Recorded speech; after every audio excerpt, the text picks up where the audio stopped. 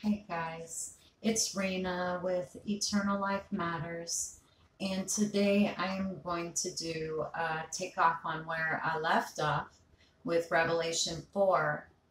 And before I do that, I'd like to just show you guys um, in my researching what all took place in 1948. And you know that's why, because Israel became a nation again. So we have a lot of things, a lot of these, you're just going to be like blown away when I read this to you. So God is keeping him confused. Uh, Satan, that is, because Satan doesn't even know what's going on half the time. He keeps going in, pulling back, going in, pulling back as far as like the whole agenda on everything that we're dealing with now in this time. But in 1948, all of these organizations were formed. Of course, Israel reborn in 1948, the World Council of Churches in 48, World Trade Organization, United Nations in 48, first computer chip in 1948, abortion industry in 48, Planned Parenthood came about in 48. Commercial television came out in 1948. NATO, Born Military Alliance, 1948. Cold War with Russia, 1948. Records with subliminal messaging, backmasking backwards, 1948. Nuclear arm race started in 1948. The sexual revolution, 1948. Extreme earthquaking in diverse places already started in 1948. Israel's first use of bioweapons, 1948. Vaccinations started in 1948. The fluoridization H2O supply in U.S. began in 1948 the microwave oven, millimeter waves, 1948. The NSA, National Security Act. The CIA, Central Intelligence Agency, and FBI all came in 1948. Oh, goodness. Transistor radio in 1948. NASCAR starts in 1948 genocide control in 1948. Oh, ah, guys. I'm telling you, professional sports started in 1948. We go and we look at this generation. And number one, world government. Two, one church, one religion. Three, one currency. Four, mark of the bee. Four, sacrifice to Satan, sacrifice to beast. So these rituals that these people are doing that are very aware of what they're doing. Seven, programming entire generation through social engineering. Eight, one world military, UN, Nine, genocide control, once again. 10, destroy health. 11, spying on Americans. 12, district, distract the masses, excuse me. 13, program the masses through TV. 14, 5G, millimeter wave weaponry. 15, we'll say geoengineering, chemtrails, HAARP, spraying heavy metals onto the people, into the atmosphere. 16, horror movies going over the top. 17, sacrificing.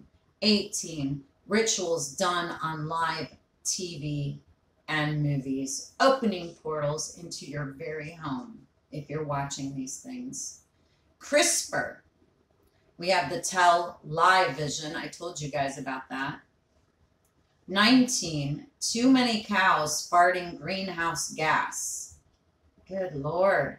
20. Propaganda. Thank you to Obama. Obama, yes. Government can lie to you to get you to do what they want. That's what propaganda is. They lie to the masses to get you to do what they want.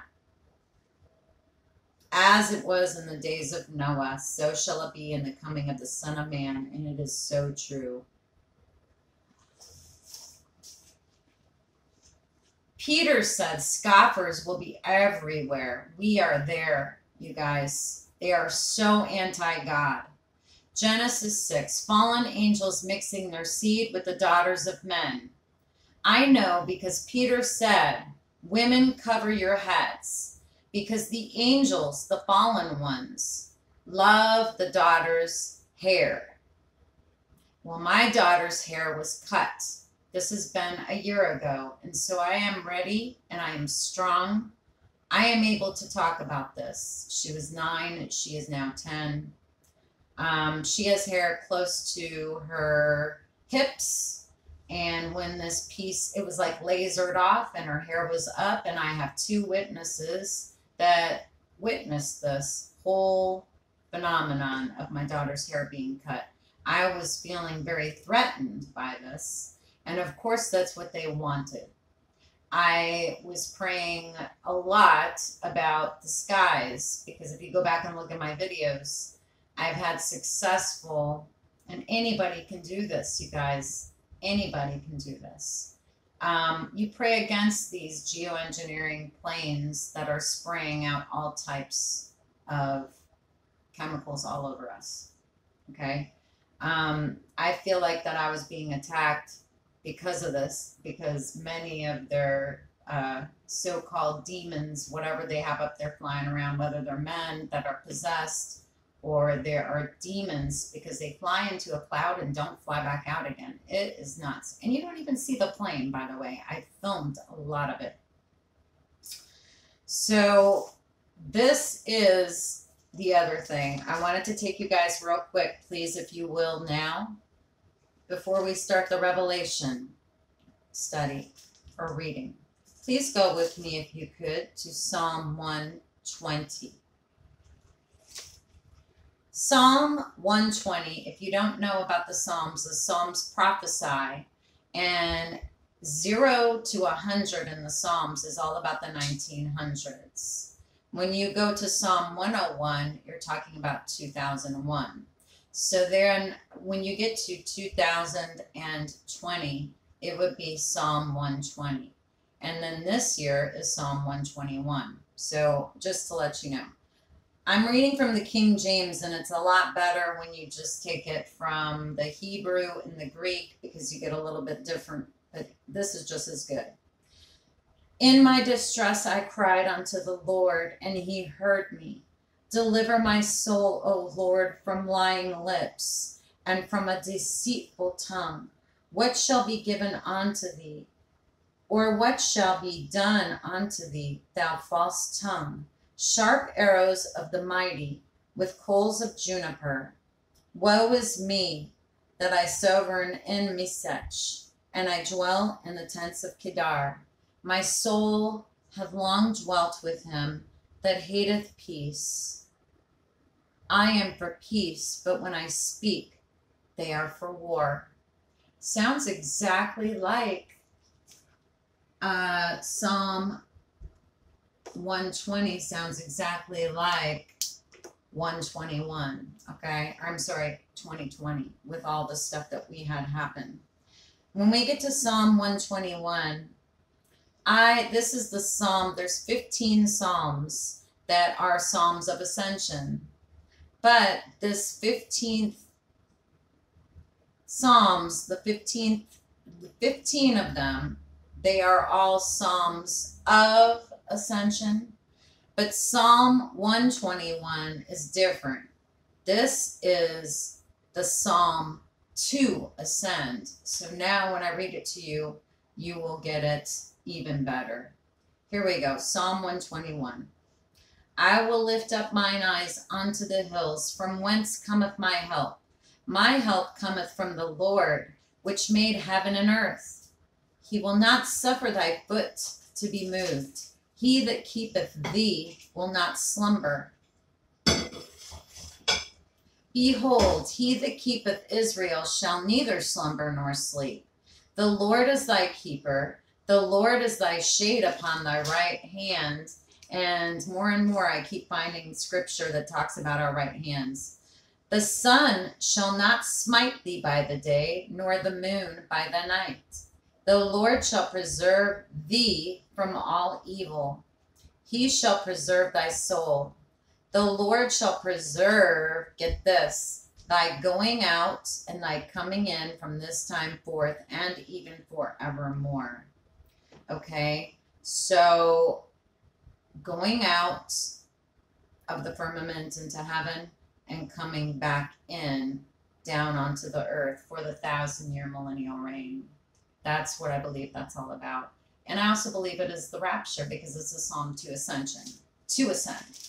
Okay, so here we go, guys. Back to the reading on Revelation. After this I looked, and behold, the door was opened in heaven, and the first voice which I heard was as if, as if it was a trumpet talking with me. This is something that is nothing new either. We can go back and uh, into the Old Testament and we can see a lot of that taking place. Um, I will go into a further study about that at another time. So this trumpet was talking with me, which said, Come up hither, and I will show thee things which must be hereafter. He's showing John. But what's great about it is this is the rapture, I believe, all the way. Because once you're done with the warnings, Jesus is giving us warnings one through three. And I believe that this, at this point, it's talking about the rapture as soon as that door is open. Because remember, Jesus is at the door. He has not come through the door yet. So once that door is open, Jesus comes through that door. So, and immediately I was in the Spirit, and behold, a throne was set in heaven, and one sat on the throne. And he sat. He that sat was to look upon like a jasper and a sardine stone, and there was a rainbow round about the throne, in sight like unto an emerald. And round about the throne were twenty four and twenty seats, and upon the seats I saw four and twenty elders sitting, clothed in white raiment, and they had on their heads crowns of gold. And out of the throne proceeded lightnings and thunderings and voices, and there were seven lamps of fire burning before the throne, which are the seven spirits of God. And before the throne there was a sea of glass like unto crystal, and in the midst of the throne and round about the throne there were four beasts full of eyes before the before and behind. And the first beast was like a lion, and the second beast like a calf, and the third beast had a face of a man, and the fourth beast was like a flying eagle. And the four beasts had each of them six wings about him, and they were full of eyes within and they rest not day and night, saying, Holy, holy, holy, Lord God Almighty, which was and is and is to come. And when these beasts, those beasts, give glory and honor and thanks to him that sat on the throne, who liveth forever and ever, the four and twenty-four elders fell down before him that sat on the throne and worshipped him and worship him that liveth forever and ever and cast their crowns before the throne saying thou art worthy o lord to receive glory and honor and power. For thou hast created all things and for thy pleasure they are and were created so I just wanted to mention about the crowns because the crowns soon will be thrown off. They will cast their crowns down before uh, the throne, and there's just a great celebration. It's almost like it's a graduation, almost, if you want to say. But my thing is this there's nobody wearing crowns in heaven. The only one wearing crowns is the Father and the Son. We, as human beings, we will be wearing crowns, the kings and the priests, during the thousand year millennial reign. So, there's some symbol there's some symbolology to that and we will get to that later and i saw in the right hand of him that sit on the throne a book written within and on the back side sealed with seven seals and i saw a strong angel proclaiming with a loud voice who is worthy to open the book and to loose the seals thereof.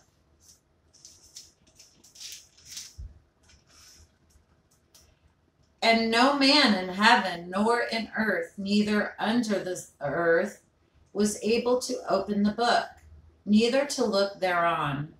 And I went, I wept much, because no man was found worthy to open and to read the book, neither to look thereon. thereon.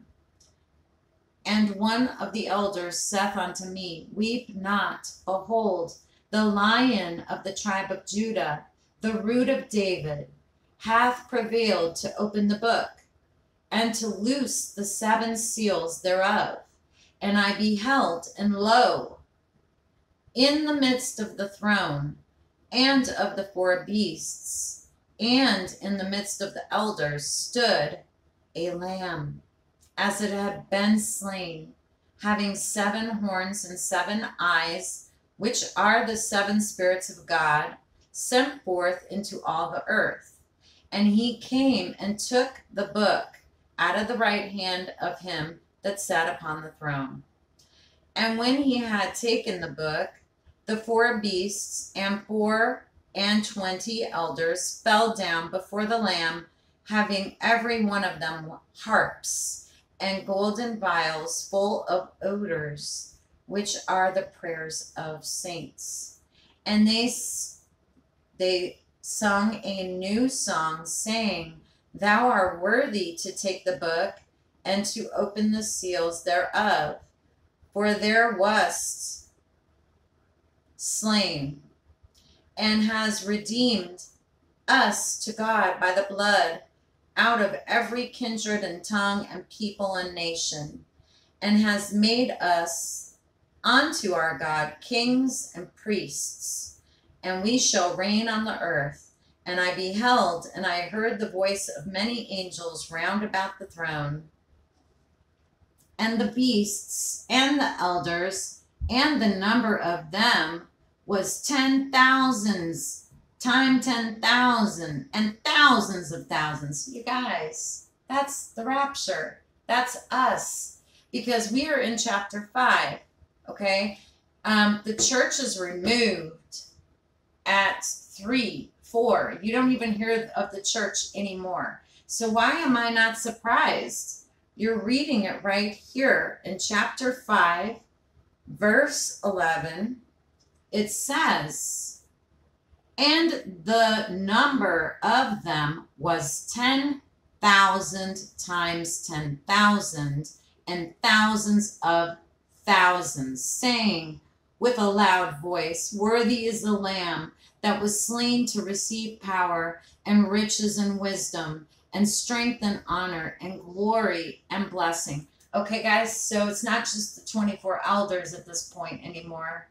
We have many, many people from different tongues, different uh, nations that are all joining and they are there. They're already up in heaven. So that is clear. Pre, pre rapture, the pre rapture before the seven year great tribulation, which is going to focus in on Israel and God's people in Israel. Okay. This seven years that we've been dealing with for the last seven years is about to come to an end. And then the new seven years, the great, great tribulation will begin.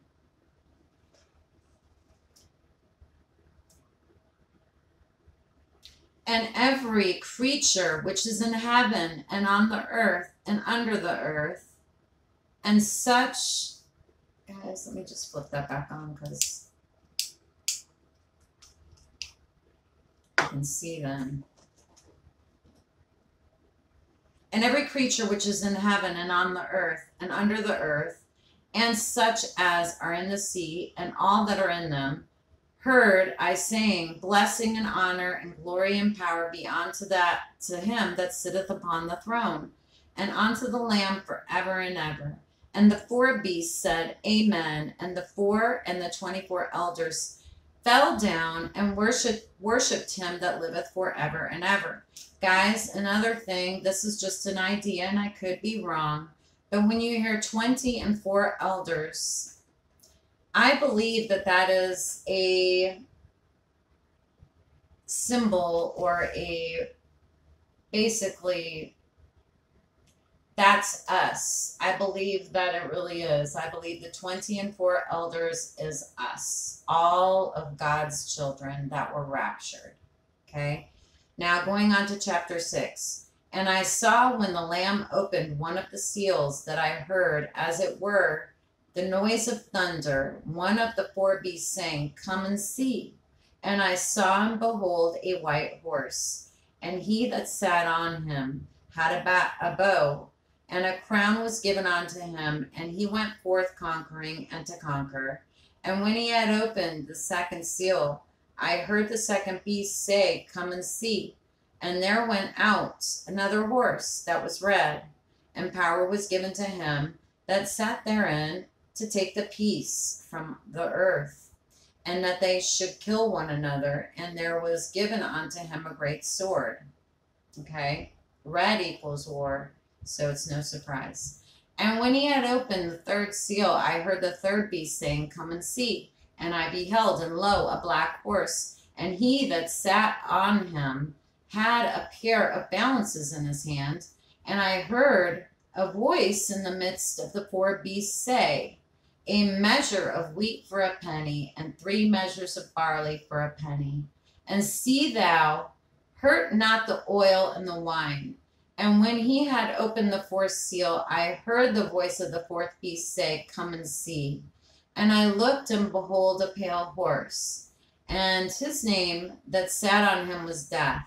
And hell followed with him, and power was given unto them over the fourth part of the earth to kill with sword and with hunger, and with death, and with the beasts of the earth. And when he had opened the fifth seal, I saw under the altar the souls of them that were slain for the word of God, and for the testimony which they held. The harlot, the harlot is going to be doing a massive genocide. We have two different parts. We have two in the Bible. One is for the martyrs of the harlot, and one is the martyrs for the beast system. So this is the first one, the New World Order. And they cried with a louder voice. Hold on. And when he had opened the fifth seal, I saw another, uh, I saw under the altar the souls of them that were slain for the word of God and for the testimony which they held. And they cried with a loud voice, saying, How long, O Lord, holy and true, Dost thou not judge and avenge our blood on them that dwell on the earth?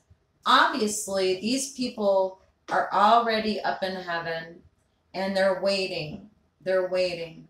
And white robes were given unto every one of them, and it was said unto them that they should rest yet for a little season until their fellow servants also and their brethren that should be killed as they were should be fulfilled. And I beheld when he had opened the sixth seal, and lo, there was a great earthquake, and the sun became black as sackcloth of hair, and the moon became as blood, and the stars of heaven fell onto the earth, even as a fig tree casteth her untimely figs, when she is shaken of a mighty wind. And the heaven departed as a scroll when it is rolled together, and every mountain and island were moved out of their places.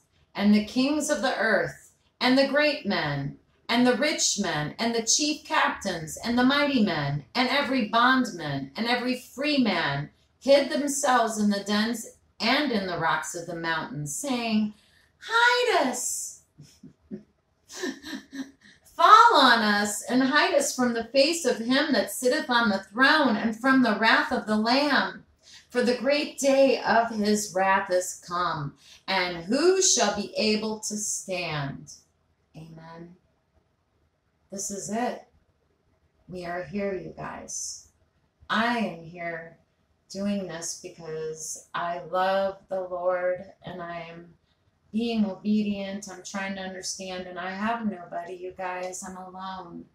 I'm alone with my 10 year old daughter. And I, since 2016, I know that's not that long ago, although for since 2011, I have been very, very much loving Jesus, and um, but never did I have anything happen to me like in 2016 when I was told to move from Chicago to the Ozark area, and uh, it was given to me in a dream. So I've never had the things that have happened since then um, happen, and they're still happening. It's an amazing thing when you are uh, spiritual, not religious. So, any of you out there that are spiritual and not religious, please join my channel. I want to talk to you guys. Anybody out there that is not saved, saved and sealed, sealed and saved by the blood of the Lamb, by the blood of Jesus, you can just bow your head right now. And I will tell you this. You can say, I know I'm a sinner and I'm done. I repent. Lord Jesus, will you please come into my heart? Show me you're real. Show me the truth, Lord Jesus. And I believe that He will come and work with you. That's what I did. And that's what happened. So, in exposing evil was the job I was given. The Lord told me that the movie Star Wars is not exactly like what's coming, but he did say that uh, that I would be filming things and um, that I was to expose evil. And so that got me to thinking, what does this mean? What does this mean? So, because I remember being living in San Diego when I was eight years old, and my mother took me to see Star Wars and I loved that movie. But it is all about just like the Terminator. When you think about it, the Terminator, that guy's name was John Connor. He has the same initials as Jesus Christ and is to be the savior of the world. But that's from Satan. That's not from uh, God. So you have to look. And then when you go and look and you watch that Terminator movie, nine 9 11 is all over the movie. That's because Jesus' birthday is 9 11. Okay? That's another thing I was told by the father. So they just want to smear his son's name, is what he said. And by having bad things happen, you know, you dial 911 if someone's having a heart attack, and it's just like not the best of memories, right? To have to call 911. And then we also have our 2001 uh, thing that happened and that really, really woke a lot of people up. So um, I'm not going to read anymore, but I do want to read just from the book of Enoch real quick. Chapter 39 out of the book of Enoch. And it shall come to pass in those days that elect and holy children will descend from the high heaven and their offspring will become one with the children of men.